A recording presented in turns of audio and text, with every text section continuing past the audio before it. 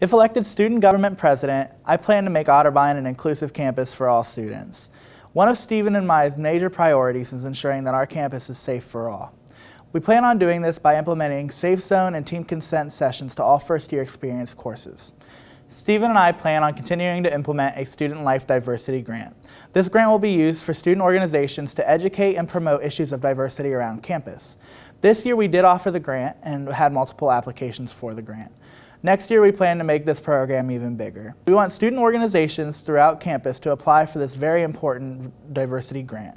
We believe that this grant will help foster the diversity of our campus as well as promote issues of diversity and inclusion.